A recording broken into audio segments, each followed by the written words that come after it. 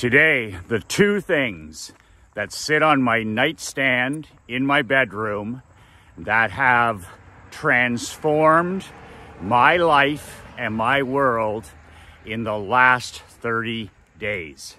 Michael McLean, nobullbook.com, badassletter.com.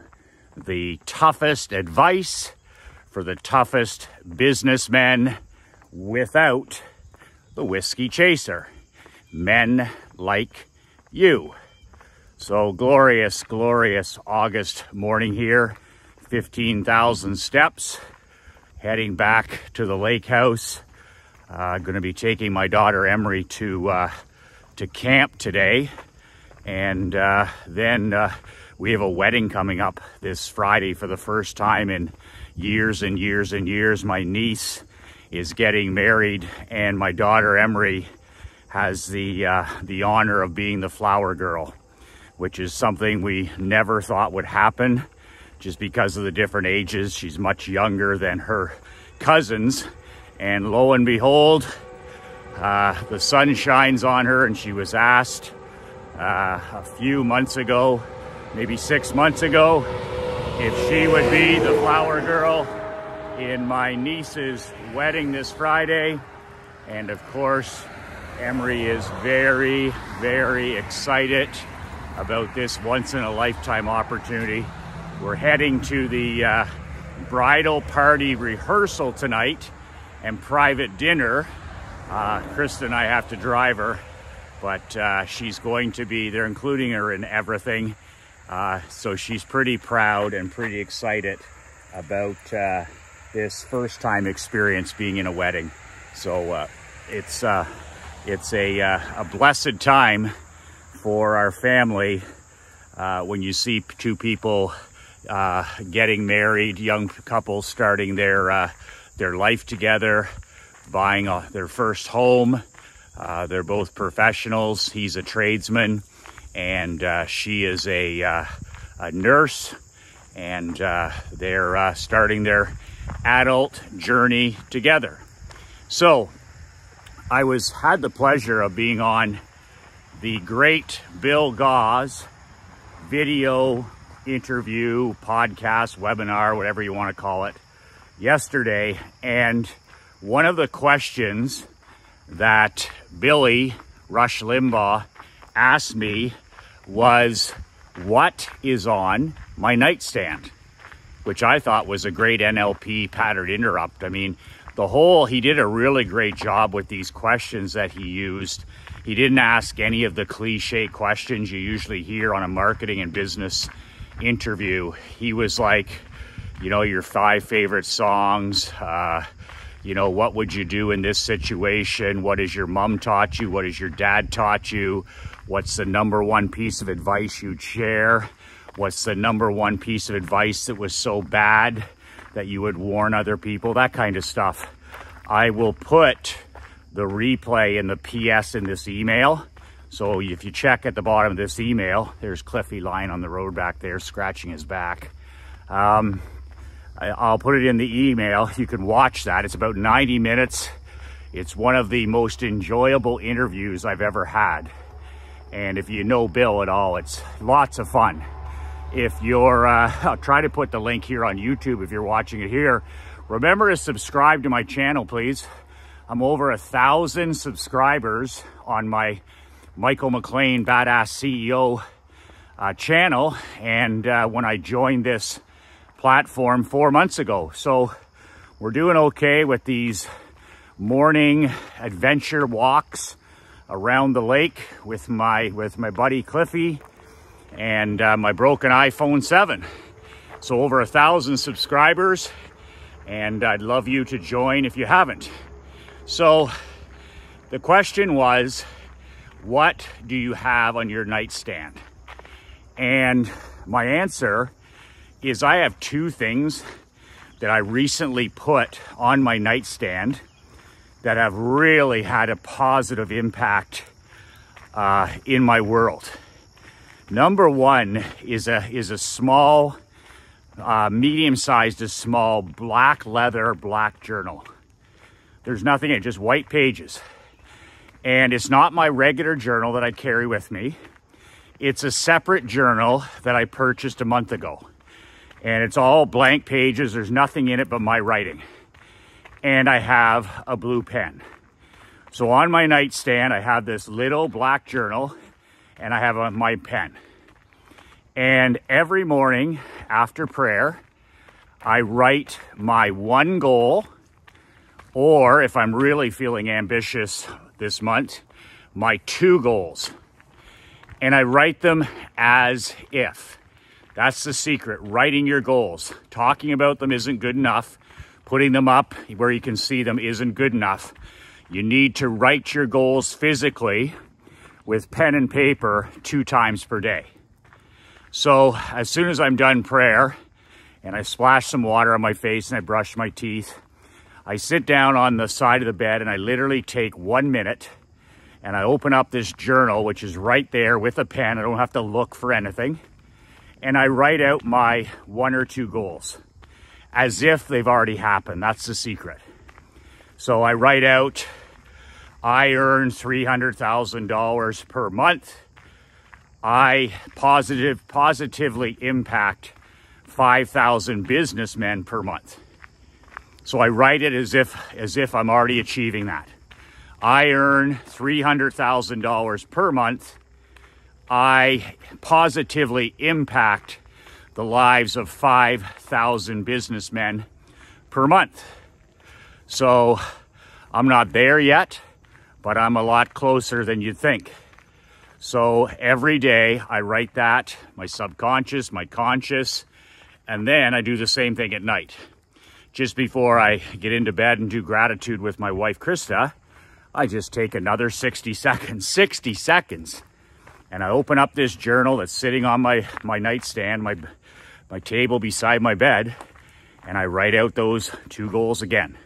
No more than two goals. If you have three goals or you have 10 goals, you just have a list. Those are goals. Great people set one goal at a time. And, uh, you know, it usually takes a month to make a goal into a reality. That's 12 major goals in a year. That's massive. That's transforming your world. If you can do one goal a month, 12 over the year for 12 times, 12 months, that's 12 major changes in your life. If those are, are those, if those are negative behaviors, those goals, and you turn them into a positive, that's 12 negative things that weren't serving you in a year that you've changed into something positive. That's how you transform your life. One goal at a time. Write it down every morning, write it down every night. So that's what's on my bedstand. The second thing I shared that's on my bedstand is a book that I've mentioned a couple times, and it's called The Secret to Success the secret to success is there's no secret.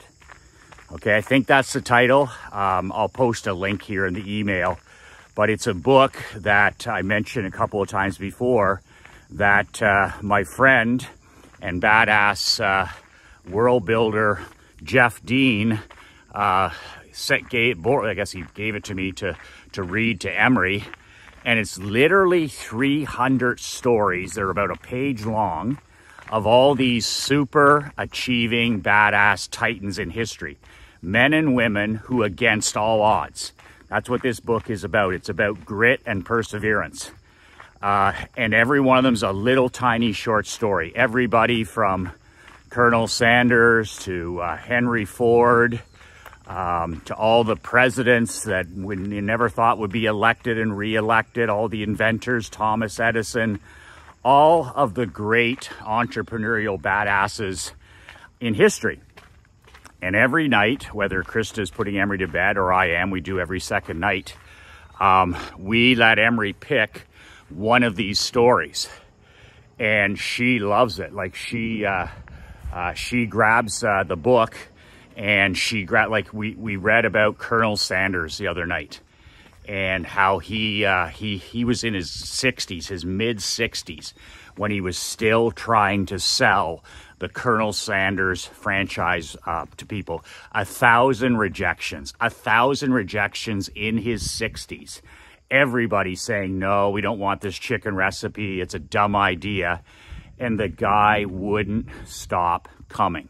He just would not stop coming. And they're all like that. We read, uh, we read stuff, you know, about, um, you know, Thomas Edison, just a thousand inventions that were fail, massive failures. Um, you know, Steve, uh, Steve Jobs. I mean, the real, you know, just one failure after another. Walt, Walt Disney.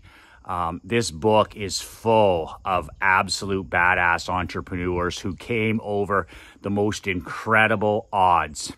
So, you know, I want my daughter to have that in her mind. It's been good for me, but it's been good for her as well.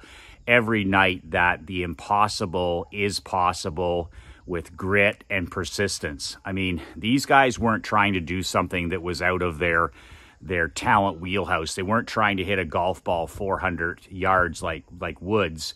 They weren't trying to throw a football like Tom Brady, but they knew that what was possible in their um, area of genius, and they just wouldn't relent. They just wouldn't relent. And that Colonel Sanders, you know, KFC story was just so inspiring. And Emery loves that. She's like, we got to go there and eat now. And I'm like, yes, we do. Once a year, once a year the family uh, reunion. I, yours Relentless brings the bucket of chicken. It's the chicken at, at our family cookout that nobody eats, right? Oh, Michael, I can't believe you. I've been bringing this bucket of chicken since I was a bachelor. And uh, it's so funny because I show up with this bucket of chicken all the time, even though now I'm not a bachelor. And uh, I put it on the picnic table. And oh, Michael, geez, that stuff, uh, boy, oh boy, I never go there. I never eat that stuff. And by the time I get my plate and put a few salads and, and whatever on my plate, usually the bucket of chicken is empty.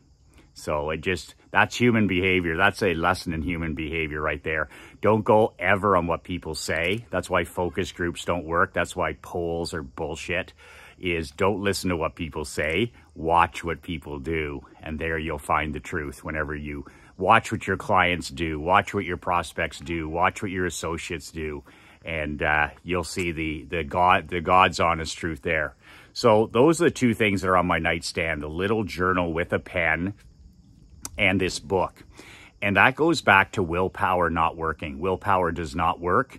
Environment works. So I wasn't writing out my goals twice a day. And a lot of my world builders have struggled with this. And instead of lugging up that journal every night and every morning, I wasn't doing it right. I was leaving it down on the kitchen table. I bought this little journal and it's now, it's only for this. And I bought this pen and it's only for that. And you know what? I'm like 32 and 0. I'm 32 and 0. 32 days in a row where I've opened my eyes and written out my one or two goals. And I'm 32 and 0 at night writing out my goals just before I get to bed.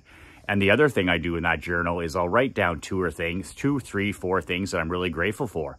I could write down, it's different every day. I'm, I'm grateful I have a truck to drive. Um, I'm grateful I have a thousand viewers on YouTube. I'm grateful that I have a roof over my head. I'm grateful that I have food in my fridge. I'm grateful that I have fresh water to drink. Uh, I'm grateful that Krista has a has a beautiful garden out here that we eat out of in the summer. Fresh fruits and vegetables, little things like that. And I just add those in. There is no rules for this journal.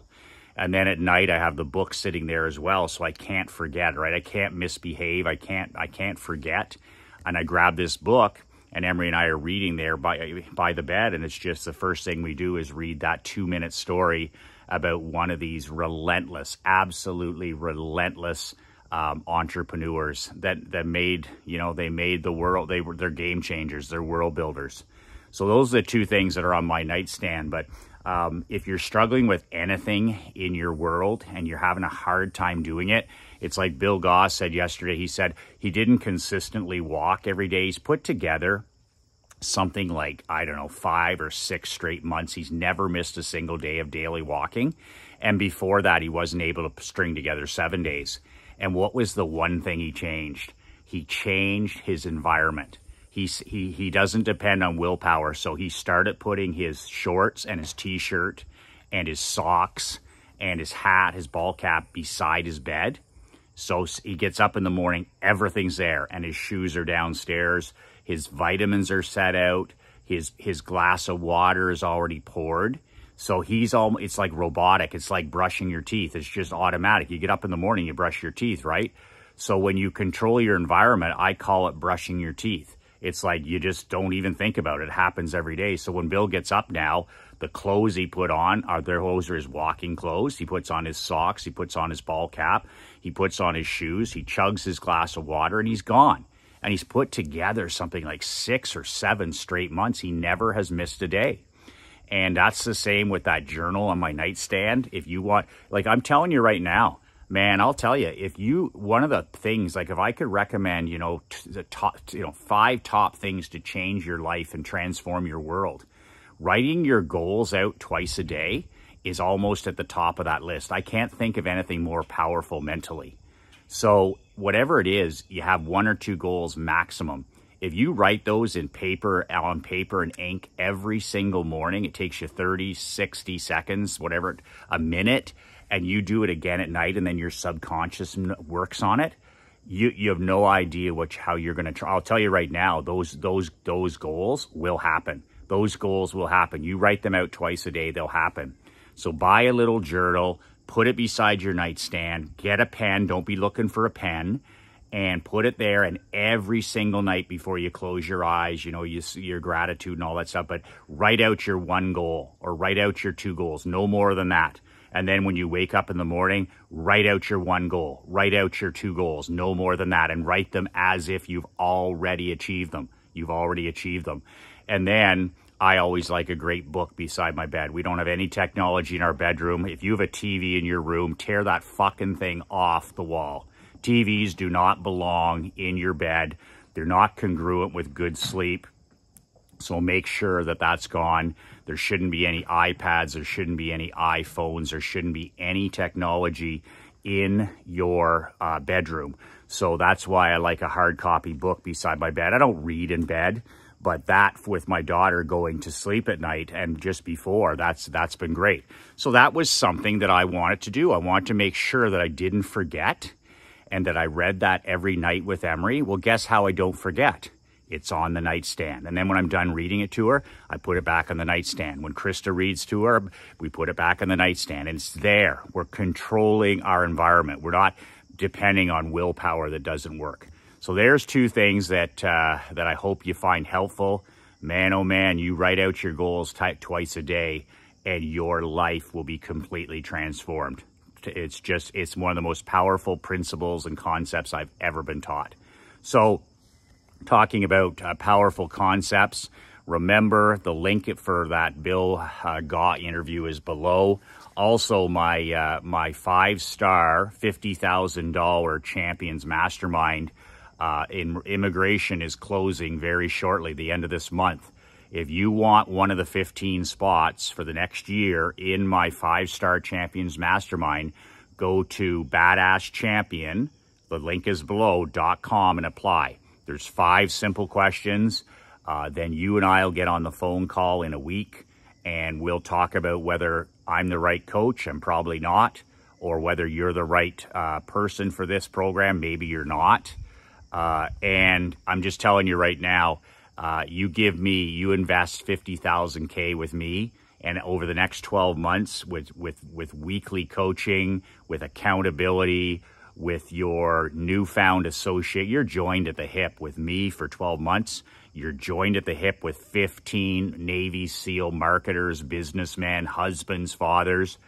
Um, you know, it's, it's, you, you give me 50K and I'm going to give you the tools to 10X your life, to 10X your income, 10X your wealth, 10x your marketing, 10x your marriage, 10x your, your health, your relationship with your kids, 10x your time management to, you know, to, that's a huge one right there.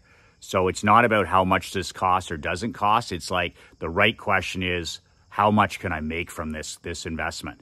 Well, I'm telling you right now, you put in the work and you're going to 10x every area of your life, every area of your life. And you're going to be associated with the best. So you're going to be joined at the hip. So you're not going to, it's going to be impossible for you not to achieve your goals. It's going to be impossible for you to misbehave because once again, what works? Environment. What's a mastermind? Environment. What's willpower? Willpower is, you know, watching a video. Willpower is reading a book. Willpower is listening to a podcast. But immersion, immersion into uh, environment that you cannot fail You'd have to work, you'd have to work at failing, but you can't stay the same. I'm going to pressure you. I'm going to hold you accountable. I'm going to inspire you. I'm going to motivate you to 10x every area of your life. And if you don't 10x every area in your world, if you don't build your 10x kingdom, you won't be invited back the next year. That's the accountability all my guys have. So there's a, a handful of spots left. Go to badasschampion.com and apply. And uh, you and I will get on the phone and decide whether it's a good fit or not. And I'm good either way. It doesn't make any difference to me. Like I said, it's not going to change my life. I'm going to I'm going to be in Naples for the two events, live events anyway. So uh, that doesn't matter. So there's uh, there's um, there's the link below at uh, badasschampion.com. So that's it. That's the two things that are on uh, my nightstand. I hope you can take that message and control your environment. Remember to hug and uh, hug your wife and your kids uh, tonight and tell them that uh, how much they mean to you and how much you love them. That is the number one thing we need to be doing every day when we're building our world. Until tomorrow, two words that change my life two words that will certainly change yours. Be relentless.